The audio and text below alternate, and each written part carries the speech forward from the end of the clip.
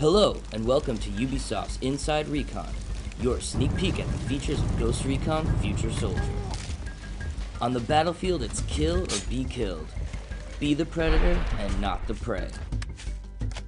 Working with former Navy SEALs gives us an unprecedented insight into the latest military techniques and allows us to execute a unique and authentic vision of near future technology. Winning the battle is about knowing your enemy. Small, light, and adaptable, the UAV, also known as the drone, provides a powerful tool for surveillance and reconnaissance. You can enhance the drone's detection ability by combining sensor grenades and placed magnetic sensor packages.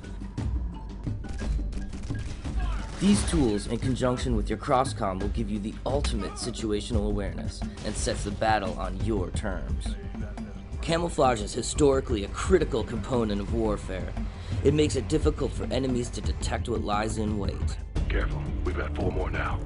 Optical camouflage gives you and your team extra time to observe, strike, and extract.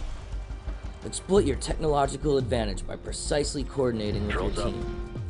Use the drone and sensors to identify your targets, position yourself, and take out the enemies with the tag 'em and bag 'em feature. After marking enemies, line up your target and pull the trigger. Kill confirmed.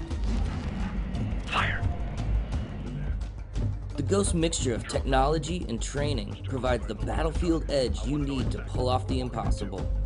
Well prepared and well equipped, your team works as a single unit with lethal efficiency. Oh, wait, kid, careful, man. We might need him.